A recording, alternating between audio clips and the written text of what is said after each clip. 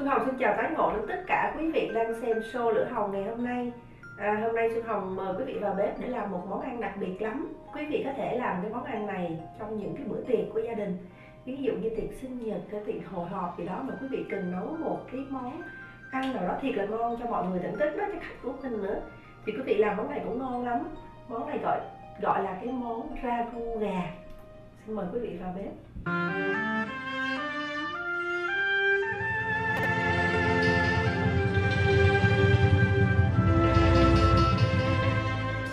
Món ragu gà. Ừ, cái món này ăn với bánh mì quý vị ơi không thể nào thiếu bánh mì được nha. Nhưng mà xuân hồng thấy ăn với cơm cũng ngon mà ăn với um, um, ăn không thì cũng ngon nữa làm một cái món súp thì cũng ngon. Nhưng mà thông thường nhất là người Việt Nam mình ăn với bánh mì. Quý vị nhớ nướng bánh mì cho giòn lên rồi ăn. Và hôm nay cái món ragu gà xuân hồng dùng gà dai đi bộ chứ không có dùng gà mỹ quý vị. Nhưng mà nếu quý vị thích thì dùng những cái đùi gà cánh gà hay là ức gà cũng được nhưng mà Xuân Hồng thì thích dùng gà da đi bộ thì giống như mẹ Xuân Hồng làm hồi bà còn à, Xuân Hồng ở Việt Nam bà hay làm cho ăn đó. Thì dùng gà da đi bộ rất là ngon. À, hôm nay Xuân Hồng nấu cũng khá nhiều. Nếu quý vị à, ít người thì làm một con gà dai thôi. Nhưng mà Xuân Hồng làm hai con lận tại vì Xuân Hồng bây giờ cũng cái mắt to cái bột muốn nấu thịt nhiều rồi cho ừ, xe mọi người mỗi thứ một, một ít để ăn cho nó vui. Thì đây là hai con gà dai lận quý vị Xuân Hồng chặt miếng ra Ờ, quý vị phải rửa thật sạch sẽ bằng nước giấm với muối để sạch, rồi quý vị mới chặt miếng ra. Và khi mà quý vị nấu ragu hay là nấu cà ri, gà thì bao giờ cũng phải quý vị chặt lớn một chút xíu, đừng có chặt nhỏ quá. Tại vì khi mà mình hầm lên cái thịt gà nó vừa mềm tới thì nó sẽ tóp lại, cho nên mình chặt lớn lớn một chút xíu nha. Mình sẽ ướp gia vị vào cho thiệt là thấm, quý vị có thể ướp gia vị, sau đó là trùm lại để tủ lạnh qua một đêm. Xuân Hồng cho một con gà thì Xuân Hồng cho một muỗng cà phê. Cái này hai con thì Xuân Hồng cho hai muỗng cà phê. Chicken powder. À, Xuân Hồng cho hai muỗng cà phê đường cát. Rồi một muỗng à, cà phê muối. Nhưng mà tại vì hai con lận Xuân Hồng cho hai muỗng cà phê muối luôn nha. Và Xuân Hồng không có nêm nước mắm vào trong này. Tại cái món ragu gà này thực ra không phải của Việt Nam mình của nước ngoài nhưng mà nếu quý vị thích vẫn nêm nước mắm vào, nhưng mà Xuân Hồng thì dùng muối thôi. Rồi hồi nữa Xuân Hồng dùng nước súp gà, nó cũng có bị mặn mặn trong đó rồi, cho nên Xuân Hồng chỉ ướp là hai con gà, hai muỗng cà phê muối. Còn nếu quý vị dùng một con thì sao? Mình bớt lại nha, đừng có làm giống Xuân Hồng nó mặn. Rồi Xuân Hồng sẽ cho một ít tiêu. Xuân Hồng cho nửa muỗng cà phê tiêu bột trắng. Rồi một vật liệu nữa không thể thiếu, đó là Xuân Hồng cho tỏi băm vào để ướp cho gà mình nó thơm nha. Hồi đó mình xào nó thiệt là thơm. Xuân Hồng cho hai muỗng cà phê đầy như thế này, tỏi băm. Tỏi băm nhuyễn. Cái món ragu gà này đó quý vị quý vị đãi tiệc đó, quý vị múc ra một cái nồi mà ở dưới, quý vị có chút xíu lửa cho nó hơi nóng, nó giữ cái độ nóng. Thì khách ăn đến đâu cái người ta lấy bánh mì bên cạnh vô cái ờ, dĩa, lấy cái chén múc vài ba miếng thịt gà vài ba miếng cà rốt với khoai tây, chút xíu nước sốt nữa để mình chấm ăn tuyệt vời, ngon lắm. Rồi, để coi còn cái thiếu gì đâu à thiếu một vật liệu quan trọng lắm, đó là một muỗng canh rượu nấu ăn quý vị. Xuân Hồng cho một muỗng canh rượu nấu ăn vào đây để cho nó thơm thơm. Rồi, bây giờ mình sẽ ừ, sóc thịt gà này lên cho nó thấm gia vị hoặc là đảo đều lên để cho thịt gà mình thấm gia vị. Xuân Hồng nhắc lại với hai con gà dai đi bộ là sẽ Hồng làm nhiều lắm. Làm rồi tu go cho người này người nọ nữa cho nên sẽ Hồng làm nhiều. Còn quý vị mà muốn ít thì làm một con thôi. Nhưng mà khi đã tiệc nếu mà đãi tiệc chắc chắn không thể nào một con rồi không đủ đâu. Tại gà dai nó cũng nhỏ. Thì hai con gà dai xuân hồng ướp vào đây là hai muỗng cà phê muối à, hai muỗng đầy à, đường cá rồi tiêu rồi bột nêm chicken powder rồi bắt buộc phải có là rượu nấu ăn và tỏi. Tỏi băm nha quý vị nhiều nhiều chút xíu. Rồi xuân hồng ướp gia vị cho gà thấm. Nếu mà quý vị để trong tủ lạnh thì để qua đêm. Ngày hôm sau mình có tiệc thì ngày hôm nay mình đã ướp gia vị rồi. Còn nếu mà quý vị ở um, giống như xuân hồng làm xôi như thế này thì xong, xuân hồng để ngoài khoảng 30 phút thôi gà cũng thấm rồi. Cái món ragu gà không thể nào thiếu khoai tây với lại cà rốt. Thì khoai tây à, cà rốt. Quý vị à, gọt vỏ thái bông rồi thái từng miếng lớn lớn như thế này. Khoai tây cũng cắt thiệt là miếng lớn như thế này. Tùy theo cái củ khoai tây nào lớn hay nhỏ nhỏ thì mình cắt làm hai lớn thì mình cắt làm ba hoặc là làm bốn. Thì khoai tây với cà rốt sau khi mà xuân hồng cắt những miếng vuông vừa ăn như thế này xong xuân hồng rửa thật sạch bằng nước muối. Sau đó xuân hồng đem chiên sơ. Nha cái này xuân hồng đã chiên sơ rồi. Khi chiên sơ cà rốt với khoai tây đó quý vị nấu ragu hay là nấu cà ri? Thì khoai tây với cà rốt nó không có vỡ ra, nó nát ra. Còn không á, quý vị bỏ vào nấu cũng được, nhưng mà không khéo là khoai tây cà rốt nó nát ra. Nó làm cái nồi ragu của mình nhìn không có đẹp mắt, không có ngon. Mà ăn cũng không ngon miệng nữa. Nên Xuân Hồng chiên sơ khoai tây cà rốt. Mình chiên để cái lớp da phía bên ngoài của miếng khoai tây cà rốt nó săn lại, để khi mình nấu nó không vỡ nát ra. Đó là khoai tây cà rốt để nấu trong cái món ragu gà. Rồi thêm một cái vật liệu nữa trong ragu gà của Xuân Hồng à, là cái đậu Hòa Lan. Đậu Hòa Lan quý vị có thể mua trong lon cũng được hoặc là mua những cái bịch mà người ta để đông đá như thế này cũng được nữa. Thì nhiều ít tùy theo ý thích của quý vị nhưng mà với hai con gà Xuân Hồng hết dùng hết một gói đậu Hòa Lan cà rốt với lại khoai tây thì tùy ý, ý quý vị cho nhiều hay ít ha. Khoảng 3 củ cà rốt và 5 củ khoai tây rồi một bịch đậu Hòa Lan nhớ phải rửa lại nha quý vị nha. Tất cả đồ đông đá khi mình dùng đều phải rửa lại hết. Người ta để đông đá lâu rồi. Bây giờ quý vị nhìn thấy những cái vật liệu trong này nè. Thì khoai tây cà rốt mình đã chiên sơ cũng gần chín rồi, nấu rất là nhanh. Đậu Hòa Lan thì nó mềm lắm. Khi mà mình chuẩn bị nhắc ra mới cho đậu Hòa Lan vào sôi lên là tắt bếp thôi. Và ngoài ra trong cái món ragu gà của Xuân Hồng cũng có nấm nữa. Nấm tươi. Quý vị có thể dùng nấm lon có một lần Xuân Hồng ăn ragu gà của một người bạn nấu, thì mẹ của cô bạn đó cho nấm lon vào. Tức là những cái nấm này mà người ta bán trong lon thì cũng rất đặc biệt, ra cái mùi rất là thơm. Nếu mà quý vị ờ, thích dùng nấm lon, ở đây Xuân Hồng có nấm tươi thì dùng nấm tươi nha.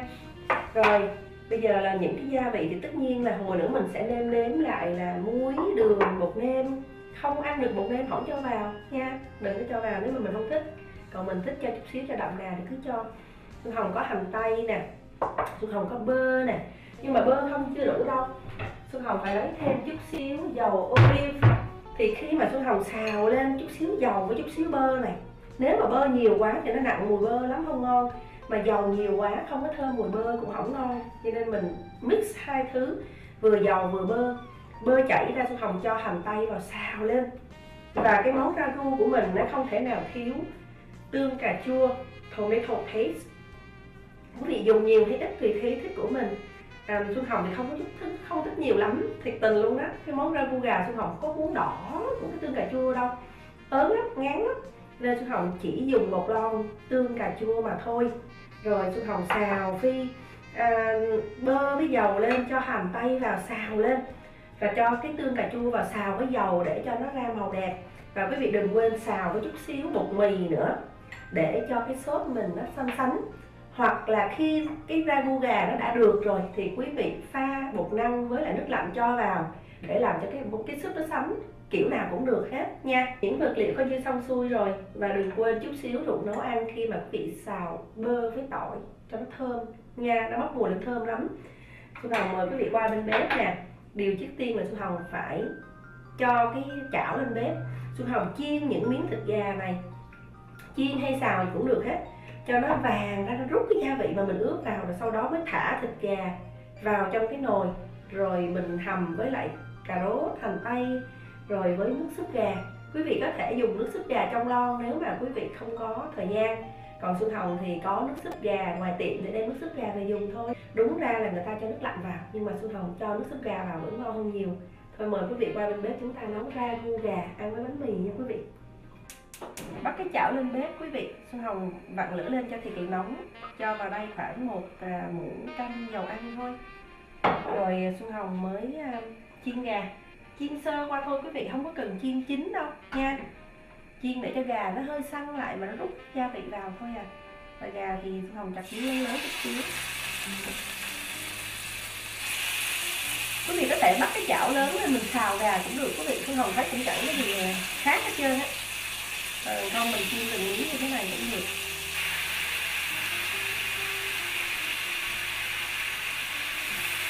xong cái phần chiên gà nha. Và gà vàng đến đâu thì quý vị nhẹ nhàng vớt cho lên vô trong cái nồi à, um, ragu của mình. Bây giờ tôi còn bắt cái nồi khác lên vặn lửa cho lớn lên. Sau đó trong khi chờ cái gà vàng thì tôi hồng xào cái sốt cà chua cho lên màu cho cho nước sốt gà vào nha. Tôi hồng cho một muỗng canh dầu ăn xuân hồng cho thêm vào đây là nửa cây bơ quý vị. Rồi Xuân Hồng nhắc lại một lần nữa, một muỗng canh dầu ăn, nửa cây bơ. Xuân Hồng cho vào đây bạn lửa lớn lên để cho bơ chảy ra. Sau khi bơ chảy ra rồi thì Xuân Hồng mới cho hành tây vào xào lên cho nó thơm được thơm. Đó. cái món ragu gà thì có nhiều cách nấu lắm, nhưng mà đa số ai cũng nấu na ná với nhau vậy thôi à. Quan trọng là quý vị nêm nếm làm sao cho nó vừa khẩu vị của gia đình mình, quý vị. Tuy cho chút xíu dầu ăn chút xíu bơ bơ chảy ra nóng rồi thì chúng ta cho hành tây thái hạt lựu vào. Xuân Hồng cho một củ hành tây thái hạt lựu vào đảo đều lên. Rồi khi hành tây nó hơi mềm mềm nó thơm thơm Xuân Hồng cho khoảng 1 đến 2 muỗng canh bột mì xào lên để cho cái bột mì mình hồi được cái sốt mình nó sánh sánh, rồi sau đó Xuân Hồng cho tương cà chua vô hoặc là quý vị cho tương cà chua vô trước cũng được nữa không sao hết trơn á nha. Rồi bây giờ Xuân Hồng thấy là thấy nó mềm mềm và Xuân Hồng cho vào đây là khoảng hai muỗng canh bột mì quý vị để cho hồi được cái sốt mình nó hơi xanh xanh nha. Nhưng mà đừng có cho quá nhiều. Bột mì và xào với dầu ăn với bơ đó quý vị hồi cái sốt mà nó sánh sánh mà nó lại không có bị vữa còn mình nếu bột năng á, thì quý vị phải nhớ mấy xu kỹ càng chút xíu. Khi mà đánh bột năng vào rồi thì quý vị trong các loại súp á quý vị phải à, cho sôi trở lại thì khi lửa tức thì nó không bị thiêu bị nữa. Quên cho vào đây chút xíu tỏi nữa nha. Hành tay rồi chút xíu tỏi để cho thơm thơm. Những cái món ăn mà của nước ngoài người ta dùng hành tây với tỏi khá nhiều đó quý vị. Rồi bây giờ Xuân Hồng sẽ cho một hũ tương cà chua vào. Tức là tomato paste à, với hai con gà nha còn nếu một con thì quý vị cho bớt à tại Xuân Hồng không có muốn cho cái này nhiều đâu. Cái này nhiều đỏ lòn cái cái cái cái, cái con gà của Xuân Hồng nó không thích. Quý vị xào bơ với dầu ăn với lại à, tỏi với hành tây đó với lại cái sốt cà này nè. Nó ra cái màu đẹp lắm quý vị. Đặc biệt là cái sốt cà chua đó quý vị xào với dầu ăn nha. Nó ra cái màu đẹp vô cùng á. Rồi Thu Hồng đang đảo đều lên rồi quý vị. Ừ chút xíu nữa cái tóc cà của mình nó ra cái màu rất là đẹp. Rồi, bây giờ bên này thì chị Hồng coi thì coi cái à, gà của mình đi đến đâu rồi? Gà đi bộ hay là chạy bộ của mình nó đi đến đâu rồi đây? Chị Hồng chở cái mặt cái miếng gà. Nó cái vị thấy gà mình nó hơi vàng thôi à ừ. và chị Hồng thích dùng gà dai đi bộ hơn nha. Quý vị thích thì dùng gà Mỹ, nhưng mà chị Hồng thích dùng gà dai ngon hơn giống như nấu cà ri quý vị cũng nên nấu gà dai nó ngon hơn là gà Mỹ. Đó quý vị chở mặt cái thịt gà. Cái món này mẹ phương Hồng nấu ngon lắm này quý vị. Mẹ phương Hồng nấu những cái món đại kỳ các bà nấu rất là khéo ngon vô cùng. Rồi, phương Hồng chở mặt trời chút xíu cho cái ờ, thịt gà nó vàng mặt bên kia rồi phương Hồng mới đảo đều lên. Rồi, bây giờ bên này đã cái tương cà chua rồi. Phương Hồng muốn cho nước súp gà vào đó quý vị ăn nhiều hay ít thì mình cho thêm nước súp gà vào nha. Quý vị muốn nấu nhiều nước thì cho thêm nước vô. Rồi cái tương cà chua mình xào với dầu với bơ nó ra cái màu rất là đẹp nè quý vị. Quý vị có thể dùng nước súp gà trong ngon cũng được nữa. Không có cần thiết phải nước súp gà à, mà hầm giống như chim hồng đâu nha. Rồi chim hồng đảo đều lên thì cái cái cái da con gà của mình bây giờ nó có còn đỏ không hồng. Phủ cái tương cà chua. Xuân Hồng chờ chút xíu cho gà này nó vàng Xuân Hồng nhẹ gà thả qua bên cái nồi này. Và quý vị có thể cho thêm nước súp gà nếu mà muốn nha. Quý vị thân mến chúng ta đang nấu món ragu gà. Chữ ragu cứ đọc không ra thì Xuân Hồng đang chiên gà bên này quý vị thấy vàng rồi ha. Bên này là nước súp gà Xuân Hồng đã xào hành tây tỏi với bơ với dầu ăn à, với lại tomato paste. Rồi sau đó mình mới à, cho nước súp gà vào thì quý vị thấy là cái nồi à, rồi ra ragu của mình bây giờ nó hơi sệt sệt một chút xíu và cái màu rất là đẹp. Nếu quý vị thích ăn tương cà nhiều thì cho nhiều nhưng mà phương Hồng không có cho nhiều đâu.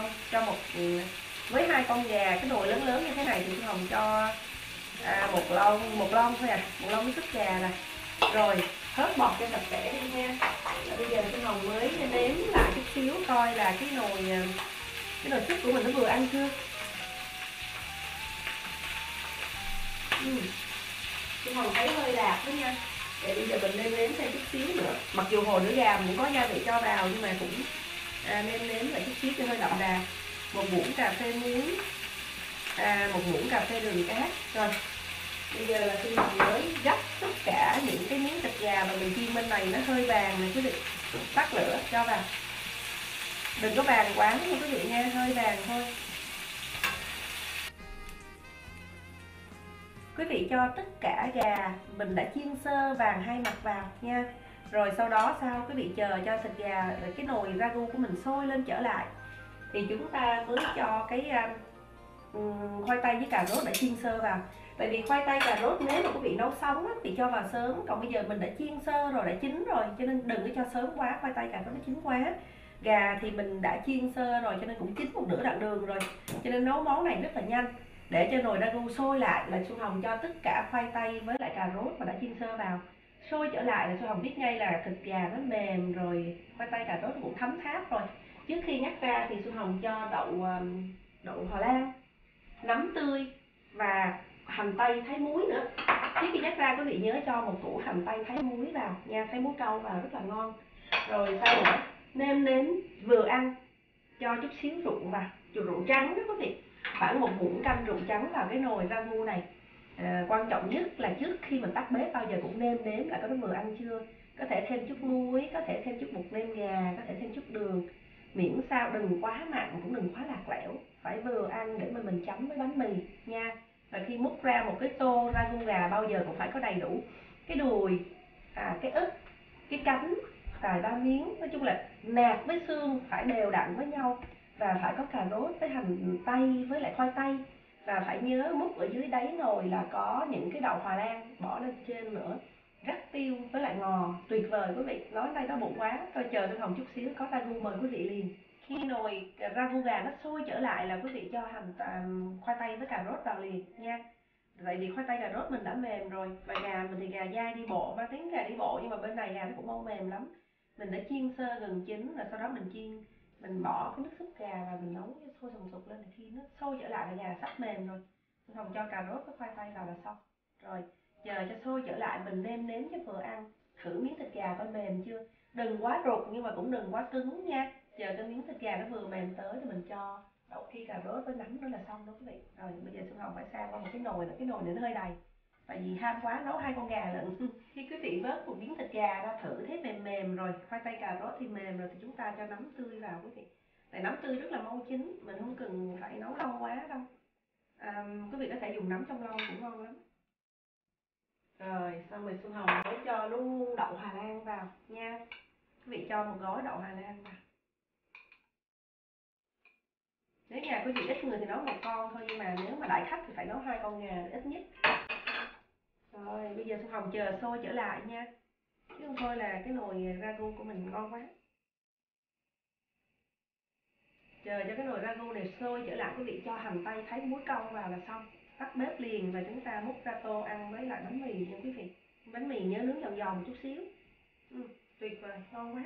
Xuân Hồng thấy sau khi mình cho nấm với cho đậu hòa lan vào đó quý vị thì nó đã sôi trở lại rồi. Chúng ta cho hành tây vào nha quý vị. Phải có hành tây mới ngon.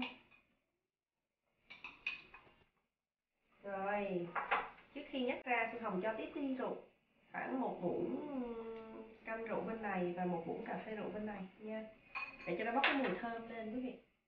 Rượu trắng đó không có thì quý vị dùng rượu nấu ăn cũng được. Rồi bây giờ Xuân Hồng múc cái um, um, ragu rà cà ra một cái tô. Sau khi quý vị cho hành tây và chút xíu rượu nấu ăn vào thì chúng ta tắt lửa này quý vị. Múc ragu ra tô nha đó quý vị thấy là ngon chưa? Rồi cái ragu này chất lượng quá đi thôi. Gà thì gà dai đi bộ. Hành tây với lại um, cà rốt quý vị nhớ chiên sơ qua ngon lắm này quý vị. Màu sắc rất là đẹp nha. Quý vị nhớ xào dầu với lại cái thùng cái thùng thấy paste ra cái màu đẹp lắm. Nhớ múc đều tay có nấm nè có cà rốt nè có hành tây nè rồi có thịt gà nè. Có khoai tây nữa. Cái món ăn này ăn với bánh mì quý vị hoặc là làm một cái món súp ăn không vậy thôi cũng được rồi nhớ phải có đậu hòa lan nữa nha quý vị. Hồng phải múc kiếm đậu hòa lan để cho lên mặt cho nó đẹp. Rồi xong xuôi rồi. Bây giờ xuân hồng phải à, à, rắc ngò rắc tiêu lên và rắc chút xíu ngò lên. Tuyệt vời ngon quá. Đó quý vị thấy đầy đủ hết. Nấm rồi à, gà rồi à, cà rốt rồi à, khoai tây. Đầy đủ hết rồi ha thêm miếng nước nữa tại cái món ăn này nhiều nước lắm và quý vị thấy cái nước nó sền sệt rất là vừa phải. Rồi bây giờ xuân hồng mới à, rắc tiêu lên. Đó phải cho khá khá tiêu nó mới thơm đó quý vị ha. Sau khi rắc tiêu rồi thì quý vị cho một ít cọng ngò lên trên mặt cái tô như thế này nhìn nó thêm phần hấp dẫn. Rồi bây giờ xuân hồng đem qua bên kia và mời quý vị dùng với lại à, một ổ bánh mì nướng nấu hổi luôn nha. Tuyệt vời cái màu đẹp quá này quý vị. Ừ, thơm quá cái món ragu gà này không thể nào thiếu bánh mì được quý vị. Xuân hồng múc một miếng nha. Cà rốt nè nấm tươi nè.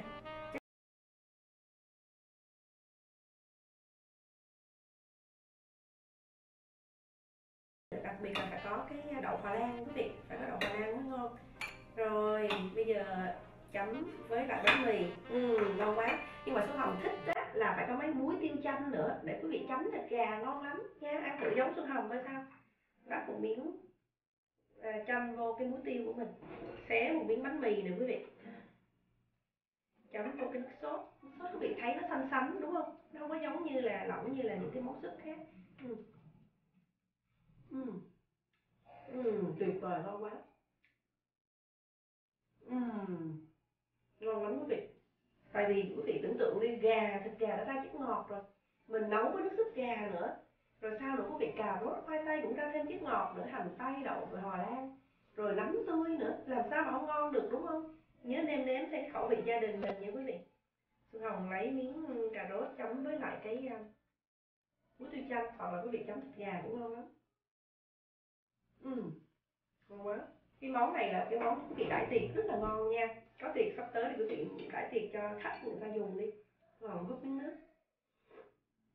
Uhm, ngon vô cùng. Chúc quý vị thành công. Nhưng mà chắc chắn thành công rồi tại vì xuân hồng nằm từ đầu đến đuôi quý vị theo dõi rồi đúng không nè và chúc quý vị có một bữa ăn ngon miệng. Và không quên cảm ơn quý vị đã theo dõi show xuân Hồng trong ngày hôm nay.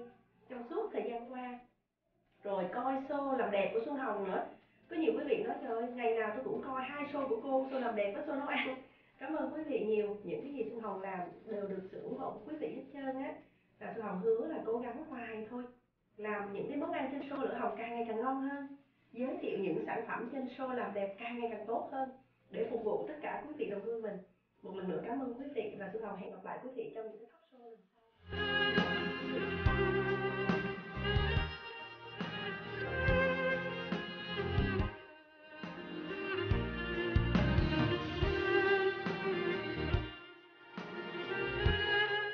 quý vị